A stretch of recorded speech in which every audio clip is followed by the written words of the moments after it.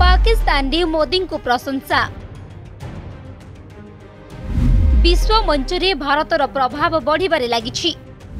ବିଭିନ୍ନ ପ୍ରତିକୂଳ ପରିସ୍ଥିତି ଭିତରେ ଭାରତ ପ୍ରଗତି ପଥରେ ଅଗ୍ରଗତି କରିଛି। ଏସବୁ ସମ୍ଭବ ହୋଇଛି ମୋଦିଙ୍କ ଦୂରଦୃଷ୍ଟି ତଥା ସଫଳ ନେତୃତ୍ୱ ଯୋଗୁଁ। ଭାରତକୁ ବ୍ରାଣ୍ଡ କରିବା ଲାଗି ମୋଦି ଯାହା କରିଛନ୍ତି ପୂର୍ବରୁ ଅନ୍ୟ କୌଣସି ପ୍ରଧାନମନ୍ତ୍ରୀ କରିନଥିଲେ। ଭାରତ ଯାହା ଚାହୁଁଛି ମୋଦି ତାହା କରିପାରୁଛନ୍ତି। ବଢୁଛି ପ୍ରଧାନମନ୍ତ୍ରୀ ନରେନ୍ଦ୍ର ମୋଦିଙ୍କ ଦବଦବା। କେବଳ ଭାରତ ନୁହେଁ ଭାରତ ବାହାରେ ମଧ୍ୟ ମୋଦିଙ୍କ କ୍ରେଜ୍ ବଢିଛି। ଶତ୍ରୁ ଦେଶରେ ବି ପ୍ରଧାନମନ୍ତ୍ରୀଙ୍କୁ ପ୍ରଶଂସା କରାଯାଇଥିବା ଜଣାପଡ଼ିଛି। ପାକିସ୍ତାନ ମିଡିଆରେ ମୋଦିଙ୍କୁ ପ୍ରଶଂସା କରାଯାଉଛି। ଭାରତ ଯାହା ଚାହୁଁଛି ମୋଦି ତାହା କରିପାରୁଛନ୍ତି ବୋଲି କହି ପ୍ରଶଂସା କରାଯାଉଛି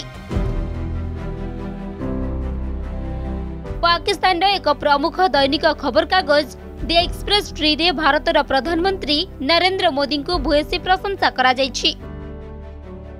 ସମଗ୍ର ବିଶ୍ୱରେ ଭାରତ ତାର ପ୍ରଭାବ ରୂପକ ମାୟାଜାଲକୁ ବିଛାଇବା ଆରମ୍ଭ କରିଦେଇଛି ବୋଲି କହିଛନ୍ତି ବିଶିଷ୍ଟ ସ୍ତମ୍ଭକାର ସେହଜାଦ ଚୌଧୁରୀ।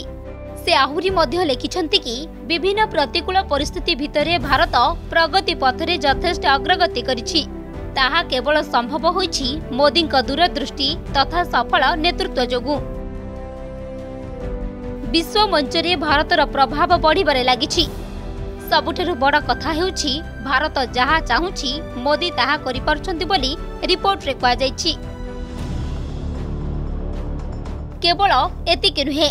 ମୋଦିଙ୍କ ନେତୃତ୍ୱ ଯୋଗୁଁ ଭାରତର ବିଦେଶ ନୀତି ମଧ୍ୟ କୁଶଳତାର ସହ ଆଗେଇ ଚାଲିଛି। ବିଶ୍ୱର ପ୍ରମୁଖ ନିବେଶକମାନେ ବର୍ତ୍ତମାନ ଭାରତକୁ ସେମାନଙ୍କର ସବୁଠାରୁ ପସନ୍ଦଯୋଗ୍ୟ ସ୍ଥାନ ଭାବେ ଗ୍ରହଣ କରିଛନ୍ତି।